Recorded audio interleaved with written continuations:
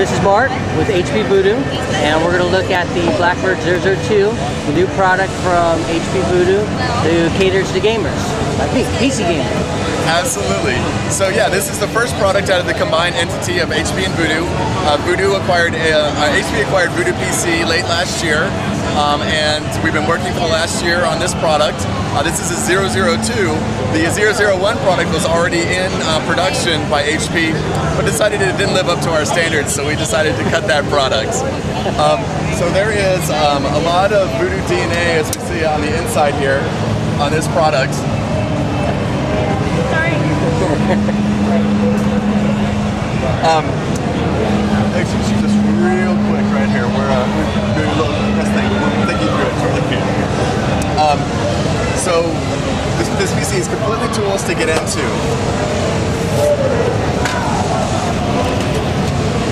These are also all industry standard components.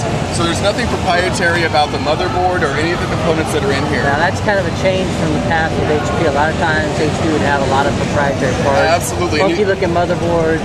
And you still see that today with some of our competitors, where you're forced to go back to them to upgrade components.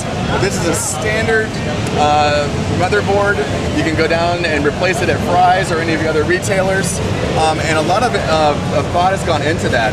Um, the liquid cooling system here, it comes in three different flavors. It's either fully air cooled, we can liquid cool just the CPU, or we can liquid cool the CPU plus the GPU. Um, but it's a completely modular liquid cooling system. So you can simply pop it off, drop, put your new motherboard in, and, and connect it right back to it. Um, when, so when, uh, H, when HP acquired Voodoo, they came in and they kind of ratted around HP to see all the kind of new cool technologies they could find.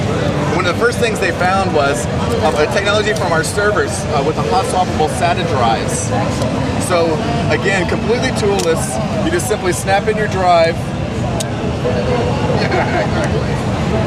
In there, of course, simply. Slide it in and you just installed your hard drive.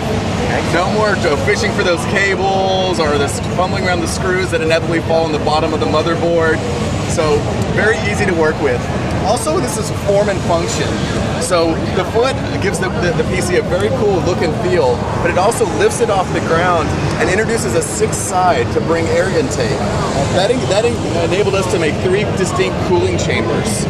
So we've got, and, and, that enabled us to move the power supply to the bottom of the PC, bring air inside through this chamber, and straight out of the back. So that takes the, the, the heat, uh, the power supply straight out of the heat and thermal equation. Straight in and out. So um, also we've got uh, your standard um, input-output devices up here, uh, easily located on the top and tucked away whenever you don't want don't need them. We've also looked at, at, how gamers interact with their PCs, and one thing we noticed was, it's you know you have to have the, the game disc in the PC to be playing the game, so you're consistently in and out with different discs. So we've went to slot load optical drives. No more of that drive tray and that, that plastic door that's the first thing that gets banged off, where you kick your knee on it. So, um, and then there's also it's very flush too. Yeah, and there's also a five and a quarter inch expansion drive if you ever need to, to, to expand. Over here on this side, um, we've got, um, these are user replaceable side panels. So right now, it's just this one design, but in the future, you'll be able to upload your own images. So you could send your Worlds of Warcraft character or your Clan or Guild uh, symbol on there and really personalize this PC. Probably the obvious question, but I'm assuming that there might be limits on what you'll put on a panel. Absolutely, absolutely. All, all uh, subject to trademarks, licenses. Um, another cool thing that we've uh, we've identified with gamers is they love to mod their system. They love to do things to make it their own. So we've got this VESA Standard bolt pattern over here, which enables gamers and, and modders to add whatever they can imagine. You know, as we've seen with the crazy PCs in the modern market, you know, just something as simple as this is to get them started with their ideas of, of the basic things like headphone holders and things like that. But you know, as you get power out here, you can bolt monitors to it or whatever you whatever you want to get crazy with. Um, since the unit isn't plugged in, you can't see it from here. But another very simple um, thing that we noticed with gamers is they're always getting to the back of their PCs for some reason or another. We've added LED lights in here. So These actually illuminate the back panel, so no more having to fumble for that USB connector, trying to find it with this with the uh, flashlight stuck in your mouth. you know, it's it's right there for you. We've also got an LCD poster that get, instead of those cryptic FF F0 codes, it actually tells you if you're having a problem with your computer.